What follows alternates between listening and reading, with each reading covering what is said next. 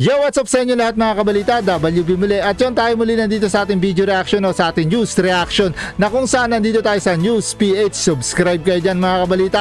At ito na mga kabalita, kakapasok lang. Naku po, JP Enrile, Pres Marcos, bumaliktad na nga ba? F. Duterte, nagulat sa nabalitaan. At yun, i-play na natin kung nalalaman ito.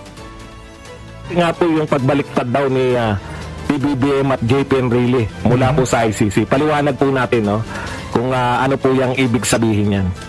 Ah, kung matatandaan po natin yung ah, yung pakikipag-ugnayan po, yung tratado, pag nag-enter po ng treaty, ang isang bansa, kinakailangan po niya ng ah, pagpirma ng 3-4 ng Senado. No? Yun po yung katungkulan ng Senado. Yun- Kaya po tayo naging miyembro ng ICC ang nag-create po niyan, yung treaty po na nag-create niyan, yung uh, Rome Statute.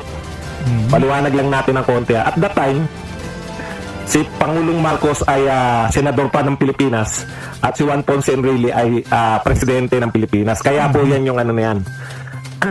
So, sa makatuwid, gusto, pinalalabas nitong ang ang linyahan ngayon ng mga kakamping pinapakita nila na baliktarin to si Pangulong Marcos tsaka si ano si JP samantalang sila inaprubahan daw nila no? Pinirmahan nila yung pagmemiyembro ng Pilipinas diyan sa ICC ngayon daw bakit daw bumabaliktad? Gusto nilang palabasin takot si Marcos kay Duterte no? Yun yung linyahan ngayon ng mga kakamping eh. Ah, willing silang bumaliktad kumbaga parang prinsipyo no? Naniniwala kayo sa ICC nung ah, nung ito ay ah, nag-enter yung Pilipinas. Katunayan pumirma kayo. Okay Ah, may bahid po ng katotohanan yan. Bakit po bahid? Kasi po kaya po nakapirma si Juan Ponce Enrile. Actually Senate President siya.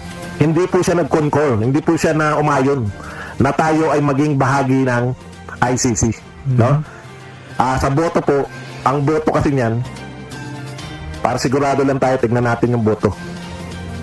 Okay, sa botong, ah, bali yung, ah, ang sponsor niyan si Senator Miriam Defensor Santiago.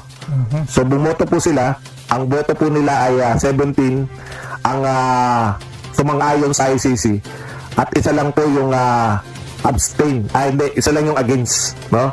So ito po yung mga sumang-ayon. Anggara, Cayetano, Cayetano, dalawang Cayetano, Defensor, Ejercito, ba? Si Joseph Estrada, ano pa pala nito? Ah, senador pa. Joseph Estrada? O baka si ano to? Si Jinggoy ba to? Ejercito Estrada.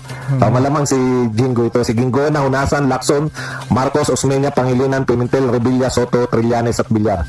At ang tumutol po si Enrile. Pero dahil siya po, nanalo po yung ah, boto ng ah, nakakarami, isa lang po siya nag-against dito sa ICC, pumasa po ito, kaya po may perma siya ron kasi siya yung Senate President.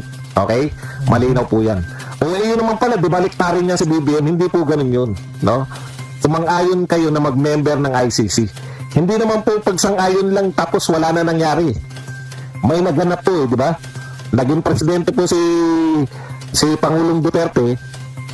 So ngayon, member na tayo ng ICC. Wala naman pong problema ron. Talaga namang member tayo, eh, 'di ba? Nang naging pangulo si President Duterte, member pa tayo.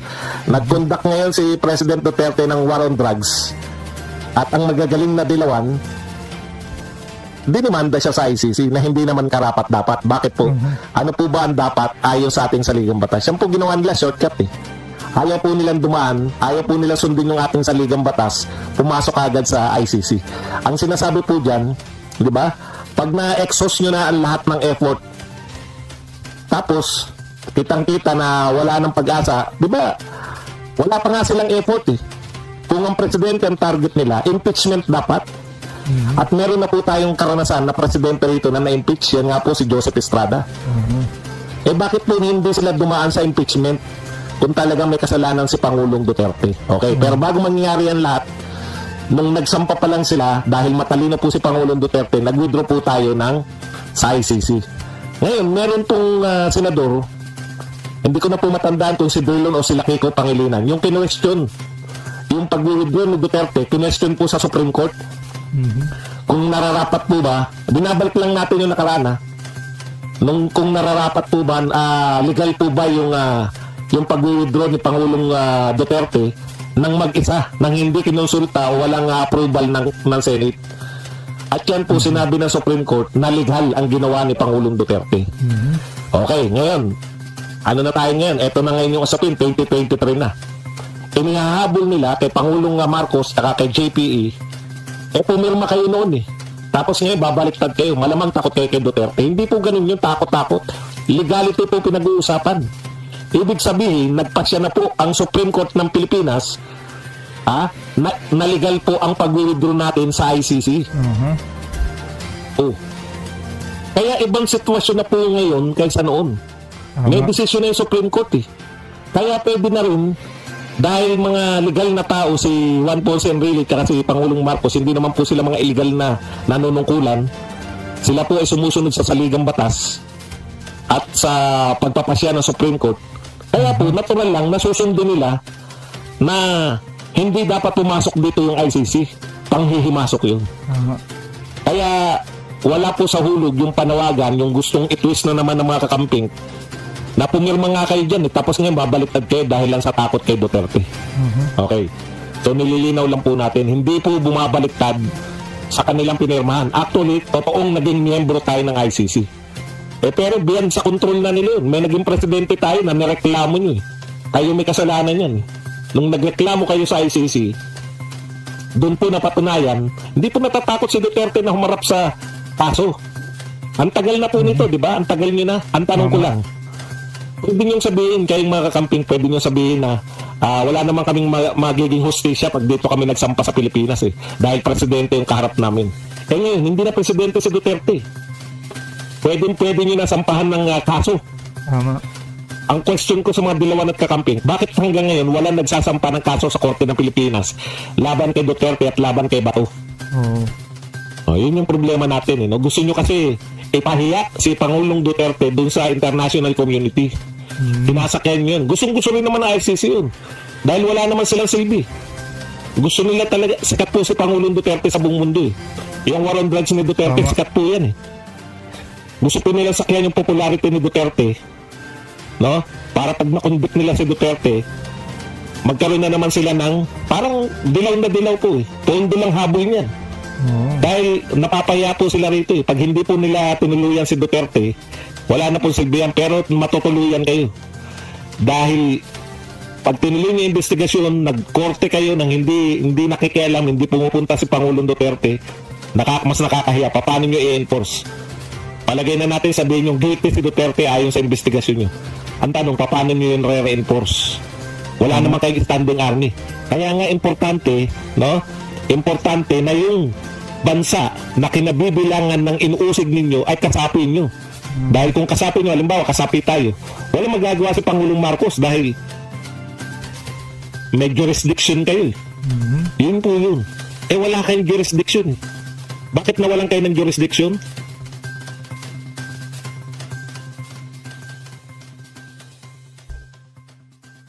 At ito nga mga kabalita natin na kung saan ito dito tinalakay ng ating ah, kabalitang si Badong Aratalis nga na dito niya binabalita yung ah, tungkol nga sa ICC na kung saan itong mga pinklawan at dilawan. Dito nga ay sinasabihan na takot ang ating ah, Pangulong Marcos dito kay Duterte. Subalit hindi ganun nga mga kabalita natin na kung saan nga itong si Duterte eh talagang ah, gustong habulin lamang ng ICC at talagang eh, gustong ipahiya nga sa korte nila at gusto nga doon eh ah, doon eh litisin yung kaso at talagang eh, maipakulong no? Siya para syempre no makakuha at ah, makahakot pa ng mga pondo no? Pag, mang- pag mangyari yung ah, kagustuhan nga ng ICC mga kabalita natin. Na kung saan eh, itong ah, ating ah, Pangulong Marcos at syempre itong si ah, JP Enrile nga mga kabalita natin. Mga panahong na talagang eh dapat papasukin ng ICC eh nandun yung mga pirma nila mga kabalita natin na kung saan eh doon eh pinamumunuan no ng Senate President pa nun si Enrile. At itong si ah, Pangulong Marcos eh senador pa nun na talagang eh may pirma sila doon subalit eh sa panahon nga ngayon iba na mga kabalita natin. Iba na yung sitwasyon. At yun ang uh, kinahihimutok at talagang iniiyak ng mga pinklawan at mga dilawan no mga kabalita natin na kung saan eh sinasabihan nila nga takot ang ating presidente dito kay Duterte. Subalit hindi, pagkat ang kaso nga yung ah, sinasabi ng ICC ay legal ang ginawa ng ah, dating Pangulong Duterte na pagtanggal sa kanila bago pa sila maghabol no sa kaso na nais nilang isampa tungkol nga dyan sa war on drugs ng ating dating Pangulong Duterte nga mga kabalita natin na kung saan eh ang ating ah, Pangulong ah, Marcos ngayon eh talagang eh ayaw silang papasukin at talagang hindi pwede sapagkat kung gusto nilang sampahan no ng kaso ang ating ah, dating Pangulong ah, Rodrigo Duterte nga eh pwede na nilang sampahan sapagkat hindi na nga presidente. Subalit nga ang sabi nga ng ating ah, kabalitang si Badong Aratelis nga eh, ba't walang nagsasampa? 'Di ba mga kabalita natin? Ang gusto nila eh doon isampa sa ICC at ang ICC ang humabol ng humabol dito sa dating pangulo nga na si Duterte. Yan ang ah, nakikita natin nga nais ipabatid at ipahayag sa ibinalita sa atin ng ating kabalitang si Badong Aratilis nga. Na tila ba eh popularidad lang ang tanging talagang gusto ng mga pinklawan ng mga dilawan sapagkat eh, ang gusto ngang mangyari eh talagang yung ICC ang lumitis o yung ICC ang mag-imbestiga sa war on drugs na naganap nga sa dating pangulo natin na si Duterte nga mga kabalita natin na talagang nais nilang ipabatid at ipaabot sa publiko na itong si Pangulong Marcos nga eh diwag daw kay Duterte. Sapagkat nga yung ah, ICC nga eh hindi nga makapasok dito nga sa Pilipinas. Sapagkat nga eh noong pang nanunungkulan si Duterte eh pinutol niya na o talagang eh ah, umalis na ang Pilipinas diyan sa ICC na yan.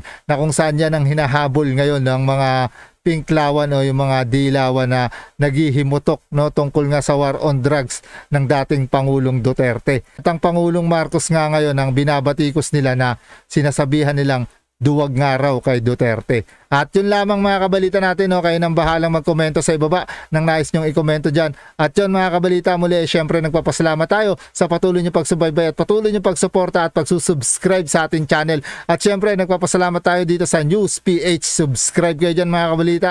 At yun mga kabalita, ito muli ang inyong WB.